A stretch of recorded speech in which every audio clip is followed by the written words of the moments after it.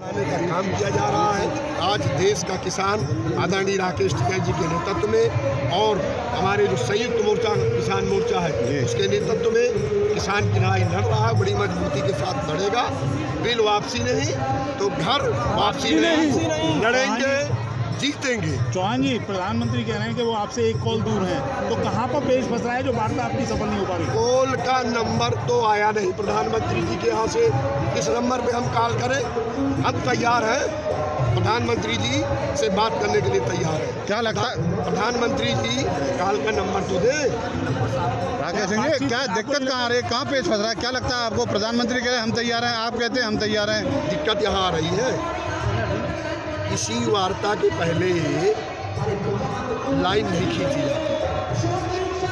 किसी वार्ता के पहले वार्ता की जाती है। ना कि पहले बता दिया जाता है कि हम इस बिंदु तक जाएँगे। कहते हो, जो हमारे कृषि आपने सुना होगा, उन्होंने कहा कि हमारे कृषि मंत्री ने जो बात रखी है, उसका किसान स्वागत करे और हमसे बात करे। हमें एक काल की दूरी में न तो आज तक काल का नंबर दिया गया और एक लाइन खींच दी गई।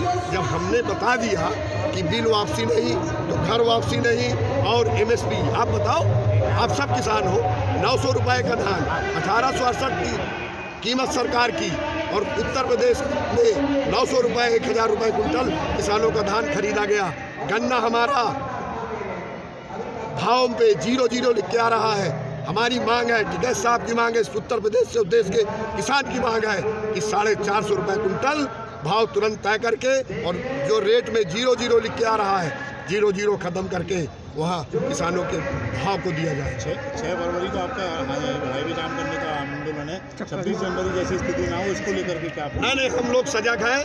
हम लोगों ने हमेशा हाईवे जाम किया सड़कें जाम की। वो भाजपा का प्रायोजित कार्यक्रम था। एक सवाल आपके माध्यम से मैं करना चाहता हूँ। आपकी टीवी, आपके चैनल और पुलिस का सीसीटीवी कैमरा, पुलिस की वीडियो क्लिपिंग में इनसे सवाल करो आप कि दीप सिंधु किस बैरिकेडिंग को तोड़कर दिल्ली प्रवेश किया? पहले से उसे वहाँ लाल किले के अंदर बैठाल दिया गया था। कुछ सिख भेष में लोगों को बैठाल दिया गया था। और दीप सिंधु की एक भी विजुअल आपके टीवी में, दिल्ली पुलिस के कैमरों में अगर कोई बैरियर तोड़ दे, तोड़ता दीप सिंधु दिखता हो तो हम बतावे हमें।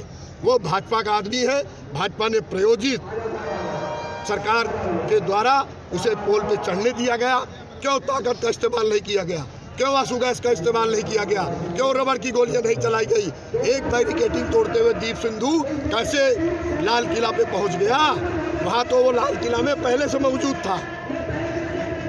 सरकार पहले से उसे बैठा के रखी थी, क्योंकि किसान आंदोलन बदनाम हो और किसानों के खिलाफ हमें कार्रवाई करने का मौका मिले और उसकी प्रतिक्रिया 28 तारीख को आपको सबको देखने को मिली।